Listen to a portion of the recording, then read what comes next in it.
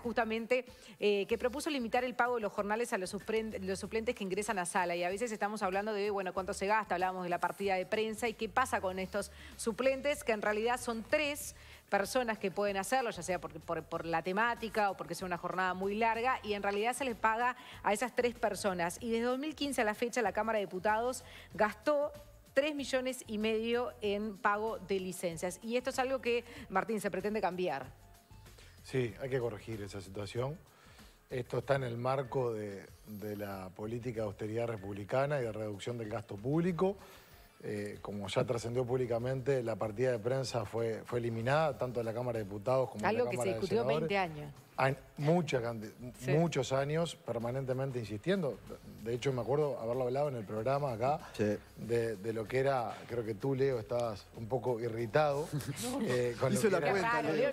Cuenta. Que eran irritado, pero y fíjate que, sí. Pero no eh, porque compraran los medios, que me parece bien, y ahora me gustaría preguntar cómo se informan. Está claro. Sino porque se gastaba más de lo, mucho más de lo que se necesitaba. Va más allá del tema de nominación y, sí, eh, fíjate que lo que va a representar de ahorro en el periodo, en el Parlamento, son 7 millones de dólares aproximadamente, la eliminación de la partida de prensa. Solamente en, una sola partida. Es dinero. Fíjense que... claro, no, es un cambio. Que a veces dicen, ah, esto no mueve la aguja. 7 millones de dólares. Yo primero soy contrario a, siempre a, ese criterio. a la frase de que no mueve la aguja. Porque con el criterio ese eh, nos descansamos. Todo mueve la aguja. Está perfecto. Este, cada peso mueve la aguja. Pero eso fue yo creo que una señal republicana que aparte se votó por unanimidad en tanto en la Cámara de Diputados como en la Cámara de Senadores. Hubo una reducción del rubro de inversiones que teníamos en la Cámara de Representantes, en donde lo bajamos casi a la mitad y entregamos aproximadamente un millón de dólares al Fondo Coronavirus, que esto también fue votado hace pocas semanas. Y ahora, eh, en el día de ayer, con las firmas de, los siete partidos políticos que componen la, la Cámara de Representantes, nos proponemos a través de un proyecto de ley corregir esa situación, María Noel, que en realidad no hay límite de suplentes. Ah, pensando por el absurdo. Porque ¿qué pasa? La línea, si es de suplentes respectivos, tiene un titular y tres suplentes. Pero puede pasar de que ingresen más, de que ingrese algún suplente que no esté en la línea. Eh, yo no quiero entrar en, mm. en, los casos y demás, pero evidentemente que si estamos en una situación donde se pagó o se pagaron más de 3 millones y medio de dólares desde 2015 a la fecha en licencia de legisladores y esta situación puede llegar a darse, es una situación a corregir. Entonces, ¿qué es lo que estamos proponiendo? Que cuando un diputado titular o un senador titular eh, está en uso de licencia durante una sesión e ingresan tres o cuatro suplentes por ese legislador, se paga un jornal dividido entre los suplentes que ingresan. Entonces, de esta forma lo que se hace es el control del gasto tanto en una cámara como en la otra. Y a su vez no es claro, se paga, Se paga el día, digamos, el, día de trabajo. Se paga un jornal. Que lo dividan entre los que un claro, si entran cuatro este, suplentes, por ejemplo, yo el día de mañana eh, me pido licencia en una sesión. Y me, y, me, suplen tres o cuatro suplentes. ¿Eso ocurre? Se paga un solo... Han habido casos. Se paga un solo jornal. No, es una pero, claro. pero Leonardo, primero una cosa que quiero aclarar. Nadie estaría haciendo algo ilegal porque esto está permitido por la ley. por, eso, para, por eso nos proponemos cambiar la norma. Pero aparte, guarda que no es tan ridículo en algunos casos. Y te, voy a poner un ejemplo. Un ejemplo de un partido político que tenga un representante. Y sesiones de presupuesto que estamos días adentro del, del Parlamento, vos lo sabés bien. Entonces, ¿qué pasa? A veces se dividen los temas. A mí me ha pasado que quienes le toca ocupar la suplencia o que son suplentes míos, de algunos temas tienen un nivel de especialidad y de estudio que lo defienden mejor que yo. Entonces, en una sesión de presupuesto. en una sesión tengan que entrar Pero que en una, sesión de presupuesto, en donde son. es todo el día. En donde cambian las temáticas. En un momento se discute vivienda, en otro momento se discute el mm. presupuesto a salud. Van ingresando en un momento se, discute el presupuesto a políticas sociales. Estamos hablando, Juan Miguel, escenario, por ejemplo, un partido político con un representante. Sí, entiendo. Esa rotación puede llegar a darse. Lo que hacemos con esta solución es no perder calidad legislativa, porque el ingreso puede darse igual, a la vez que controlamos el gasto. Claro, no achican los suplentes, no entran los que quieran, pero Puede intervenirse, pero el costo lo reducimos considerablemente.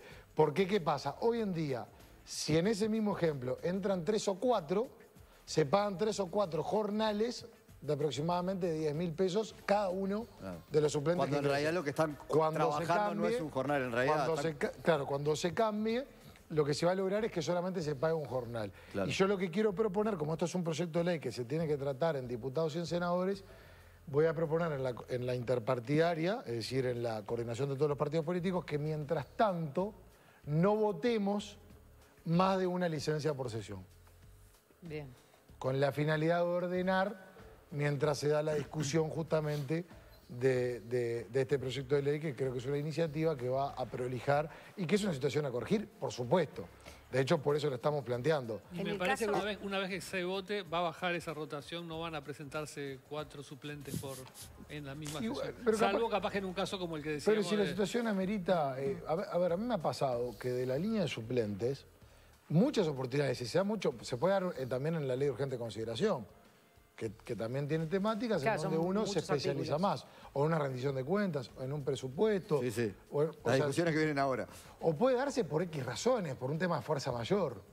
Eh, a lo que vamos con esto, que a pesar de que, pueden darse esas situaciones, lo que nosotros hacemos es controlar una situación que a mi juicio hay que corregir inmediatamente. Entiendo que además eh, eh, lo que vos planteás es totalmente lógico. Si, van a entrar tres, cada uno va a participar de una parte de la sesión, se le paga esa tercera parte a cada uno. Obvio. Pero aparte pasa. Es, lo que pasa en cualquier empresa. Ahora, por ejemplo, los que están de licencia por un tema de edad, de, población de riesgo, ¿están en realidad cobrando un subsidio por la edad o está cómo es el tema de la suplencia? El que entra, no, no, no hay una duplicación de, pagos. El que ingresa por Senado, eh, que es diputado y senador, está de licencia en la Cámara de Representantes y está eh, actuando como senador, pero no cambia absolutamente nada. Este, en eso es con absoluta normalidad.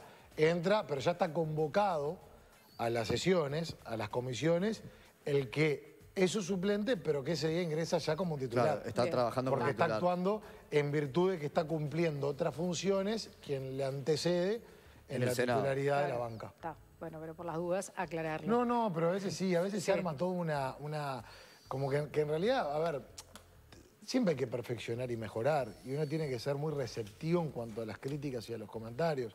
Y de hecho hablamos mucho en las interpartidarias de cómo mejorar el funcionamiento. No solo en el tema de los recortes, que es importante, en el tema de cómo hacer rendir más el trabajo legislativo. No, y la verdad que en este momento, Martín, hay una oportunidad, como pasó con la partida de prensa, de que estos temas que se han venido discutiendo durante años y cada vez que sentamos a alguien acá nos dice, sí, son temas que hay que revisar, vos lo has hecho, bueno, ahora que está como presidente, es ponerlos arriba de la mesa, porque una vez que están ahí, ves que están los 99 votos. sí, te hago un comentario. Si ustedes se acuerdan, no sé si fue la última vez o la, anterior que estuve acá, yo me negué a dar mi posición en este ámbito. Dije, la posición que tengo en la partida de prensa, estoy hablando, la voy a dar en un ámbito correspondiente. ¿Por qué? Porque yo quería evitar el discurso fácil eso que es una papa, decir, yo estoy en contra de esto, vamos a ver qué pasa con las circunstancias. Ah. ¿Por qué? Porque es quitarse responsabilidad.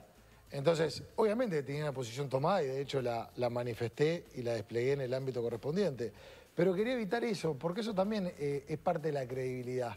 Es muy fácil mantener una posición simpática en público y ser omiso en donde las papas queman o donde es por los puntos. Y yo justamente lo que quería era evitar desmarcarme en algo donde entendía que tenía que haber una señal republicana y que la hubo. Y que la hubo por parte de siete partidos políticos que muchas veces tienen discrepancias, que otras veces tienen diferencias y que en otra cantidad de temas tenemos coincidencias como es esto y yo creo que le hace bien a, lo que es eh, el, el sistema en su conjunto, dando señales de austeridad y republicanas como la que se dieron en ese caso en la partida de prensa. Bien, y en, este caso, ¿qué, respuestas ha tenido? ¿Dentro del Partido Nacional están de acuerdo? Sí, 100% de la bancada del Partido Nacional se manifestó de acuerdo y bueno, fue acompañada por todos los partidos políticos la firma del proyecto de ley. Ya está formalmente presentado. Teníamos diferentes alternativas, al final optamos por esta, dividir el jornal entre los que ingresen y bueno, ahora ya se va a trasladar a la comisión correspondiente para que con celeridad se le dé trámite cuanto antes y pueda ser aprobada por el cuerpo. Bien, Martín, ¿y qué otro tipo de ahorros están previstos en este sentido o te gustaría impulsar en el, corto mediano plazo?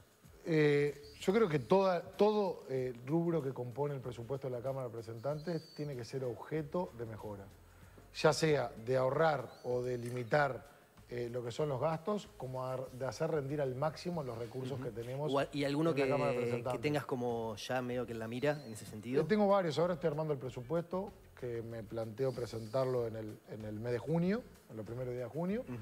Eh, una de las cosas que, tengo la determinación a alcanzar es a que no haya gastos observados por el Tribunal de Cuentas. Soy un convencido que eh, pudiendo lograr eso también, o mejor dicho, no se pierde ningún tipo de eficiencia ni de eficacia en la gestión. Y después analizamos... ¿Cuántos gastos observados hay, por, más o menos? Eh, en este momento estamos muy cerca de llegar a cero. Y después varían año a año. Pero ahora estamos muy cerca, estamos a, muy poquito de llegar a que no haya gastos observados, que muchas veces hay que reiterar, ¿eh? pero pudiendo hacer las cosas de acuerdo a lo que es el mandato legal, dando el mismo nivel de gestión, ¿por qué no hacerlo? ¿Por qué no tomar ese camino? Entonces, en ese sentido, todo. Yo soy de los que miran hasta las botellitas de medio litro que, que, se dan y ahora estamos analizando una alternativa, ya sea desde el punto de vista del ahorro o desde el punto de vista ambiental. Eh, lo que decíamos hace un rato, todo mueve la aguja. Y, la, austeridad tiene que ser una actitud y una conducta como, como primera medida. Entonces, todos los rubros eh, son objeto de, de medir. Pero después hay otros aspectos que tienen que ver con, la gestión en sí, que, no parte del ahorro, que, tiene que ver, por ejemplo, con el funcionamiento de, la fiscalización del Parlamento. Y en ese sentido estamos haciendo un seguimiento periódico de los pedidos de informes de, los diputados y la intención es que no haya pedido de informes vencidos. Yo en su momento, siendo oposición, criticaba cuando se ninguneaba el Parlamento. Hoy que soy oficialismo y que encima tengo la responsabilidad de ser presidente de la Cámara de Representantes, tengo que actuar con coherencia y predicando con el ejemplo. Por eso estamos atrás de lo correteando, ministro, si hay que corretear, para que respondan los pedidos informes en el plazo que marca la ley, porque toda solicitud de un diputado tiene que ser respetada. En su momento, y hablando ahora de lo que el tema vuelve, lo, decíamos, tendremos que ser hipócritas si no sabíamos la mayoría de las situaciones, estamos hablando de los residenciales para adultos mayores, pero con todo esto de la pandemia y las cifras que, dio Álvaro Delgado y la situación en la que están muchos, eh, volvió el tema al tapete y quizás algunos eh, que se habían olvidado o que no lo conocían, es la oportunidad de, resolver este tema. Eh, ¿Habías hecho recorridas, habías hecho pedido de informes sobre ese tema, hablando de pedido de informes? Sí, a mí se me ocultó información sobre el tema de hogares y residenciales. Y es un ¿Quién, tema... ¿Quién te la ocultó? El MIDES, las autoridades, ex autoridades del MIDES que aparte yo sé que es un tema sensible y sumamente delicado. Y hago esta afirmación con este nivel de contundencia porque están los hechos y tengo los documentos que avalan lo que estoy diciendo. Y voy a poner un ejemplo específico que también recuerdo que en su momento lo tratamos. Cuando sucedió el incendio en, el hogar, la época dorada, que terminó con, la vida de siete ancianos, yo recuerdo que medios de prensa consultaban valoraciones que podemos hacer los que nos encontrábamos trabajando ese tipo de temas. Y a mí me parecía irresponsable en ese momento hacer una valoración política de una situación tan grave y tan sensible. Entonces, ¿qué dije? Dije que iba a solicitar documentación, por ejemplo, las actas de las inspecciones, para conocer cuáles son los criterios, cuál es la periodicidad que se hacen los controles, qué es lo que observa un inspector cuando va a un residencial, cuáles son los puntos débiles de los residenciales que los encuadra en el marco de, niveles de déficit en los mismos. Y yo esta solicitud la pedí en cuatro oportunidades durante el periodo. Durante años estuve pidiendo las actas. Las autoridades, y consta en versiones taquigráficas, se comprometían a dármelas y nunca me las dieron. A su vez, había una contradicción entre lo que respondían en pedidos de informes y lo que declaraban en las comisiones con respecto a la cantidad de inspecciones realizadas en hogares, y estoy hablando en general, no solamente en la época dorada. A veces cuando, o sea, de la respuesta que nos llegaban, obviamente que no se respondían los puntos, pero yo siempre solicitaba que adjunten documentación para justamente hacer una valoración de la información que me están dando. No por descreer de las autoridades, pero tampoco puedo hacer fe de las mismas. Entonces, las recorridas eh, por los residenciales las, las habías hecho. Sí. Digo, la primera mano uno... Yo traté de hacer recorridas en refugios que me lo impidieron. Claro, sin tener a veces el informe, uno recorriendo se da cuenta de la situación en la que obviamente, obviamente. ¿Pero las actas las tiene hoy? nunca me las dieron. Ahora me comuniqué con las nuevas autoridades para que, un poco haciendo referencia a estos pedidos, que a ver, no, fue una vez. Fueron dos veces en pedido de informe, más dos citaciones a comisión. Una me acuerdo de la fecha hoy, primero de junio de 2017. Las volví a solicitar, las actas de las inspecciones.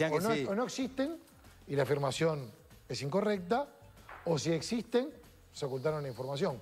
Como no voy a descreer de las expresiones, el ocultamiento de información está corroborado a través de los hechos. Pero obviamente que es un tema este, sumamente sensible. Lo que pasa es que si el tema es sensible y cuando se solicita esa información, la información no se, no se brinda, eso genera más complejidad en la misma. Y a mí en recorridas por refugios, estoy hablando de los refugios para personas en situación de calle, a mí me prohibieron el ingreso. Yo creo que es un gran error. Y creo que las autoridades actuales del MIES, del gobierno que yo creo, cometieron un gran error si el día de mañana un legislador de la oposición se presenta en un refugio y le impiden el ingreso. Porque es parte de la fiscalización y de los deberes inherentes al Parlamento lo que es el control.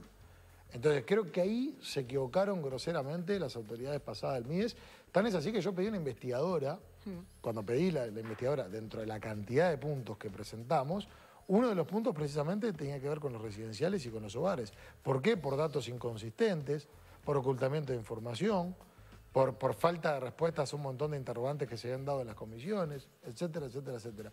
Entonces, ¿es un tema sensible? Sí. ¿Es complejo? Sí. ¿Y se manejó muy mal por parte de las ex autoridades del MIES? También.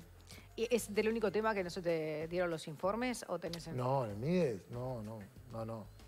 En el MIES pasaron situaciones que son realmente... Yo me llegué a encontrar, María Noel, en una recorrida nocturna por refugios. Visitamos cinco refugios. Solamente pude entrar a uno. En el que pude entrar estaba instalada una radio que se llama Radio Compañeri, que se financia, se financiaba con recursos del MIES y le hacía propaganda al Frente Amplio. Esto está comprobado, no hay dos lecturas. Lo puedo decir con absoluta contundencia porque no se puede probar en contrario. Después, pago de pasajes a dedo irregulares, que aproximadamente se habían pagado un millón de dólares, en donde no se sabía quiénes se le pagaba, no se sabía con quiénes criterios, no eran funcionarios. Esto se va a investigar a nivel del Parlamento, se va a esperar que las auditorías. El otro día vi una columna en El País que planteaba esto de las auditorías. Hay que esperar que pase la emergencia. que varios están dispuestos a denunciar eh, si, si, se encuentran. Eh, Bartos fue uno de los que lo dijo también. Yo no escuché las declaraciones de, Pablo, sí está claro, y esto es una opinión que ha dado una posición del presidente de la República, de que se tiene que conocer el punto de partida para hacer una valoración contundente del gobierno el día que nos va a tocar eh, dejar el gobierno, el último día del gobierno. Por lo tanto, sí, hay que auditar, por supuesto que hay que auditar. Este, después, pero hay distintos niveles de auditoría. Está lo que es la auditoría desde bueno, lo que es eh, la, administración de, los recursos en general, están las investigaciones administrativas y por supuesto también está el recurso parlamentario de la comisión investigadora. A eso apuntaba la yo, yo cuando presenté en marzo de 2019 no tenía ninguna duda, ninguna duda de que el MIES era, tenía que ser objeto de una investigación profunda.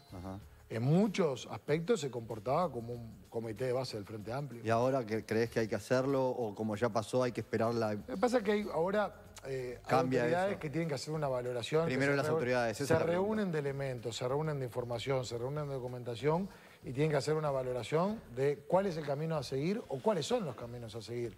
Porque quizás se traten de medidas complementarias. Quizás se traten de medidas que tengan que ver con que auditorías que darán curso a investigaciones administrativas y que se requiera un fortalecimiento del control del Parlamento a través de, las comisiones, eh, de una comisión investigadora.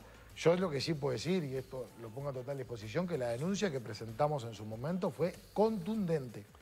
Contundente, que tenía informes eh, objetivos como informes de auditoría interna de la Nación, no eran aspectos que nosotros subjetivamente aportábamos, informes que hablaban del fracaso, por ejemplo, en el programa Calle, que no se estaban dando los resultados correspondientes. Este, informes que tenían que ver con el programa Cuidados, con un montón de irregularidades en torno a ese, a ese programa. Ahí hay cosas distintas, ¿no? Fracaso, irregularidad, delito, este, estamos, son categorías que... Una cosa es una irregularidad y que eso sea materia delictiva o no, que bueno, ahí requiere de componentes que yo quiero ser muy responsable y muy prudente siempre eso, eh, eh, en las afirmaciones. Cuando hay un capítulo de la Comisión Investigadora que habla de observaciones al Tribunal de Cuentas, pero yo no me centro tanto en la forma, sino en el contenido. Cuando la observación detalla de que en San José se estaba en busca de una radio comunitaria y se le da un refugio para administrar y que se pueda sustentar esa radio, no es la forma, es el contenido. Y después había otros aspectos que tenían que ver, por ejemplo, con el INDA, en donde se dejaba en evidencia que se podía haber mentido por parte de la exministra diciendo que se había caído el sistema para no explicar que había recortes en los programas de alimentación del INDA. Y esta situación, ¿quiénes la plantean? Los funcionarios del INDA en Comisión de Salud de aquel momento en la Cámara de Representantes. Estas situaciones, evidentemente, que, están en los hechos, que fueron plasmadas en la denuncia de la Comisión Investigadora y que ahora las nuevas autoridades, reuniendo los elementos, tendrán que ver cuál es el camino a seguir para dar una máxima transparencia y máximas garantías en la gestión. Martín Lema, muchísimas gracias. Por favor, un placer. y siga recorriendo los refugios para ver si... Por supuesto que sí. Hay que tener la misma conducta. Exactamente. Tenemos que hacer una tanda. Al regreso vamos a estar hablando de la reapertura. En realidad nunca estuvieron prohibidos los restaurantes, los bares, sí, los boliches y manteniendo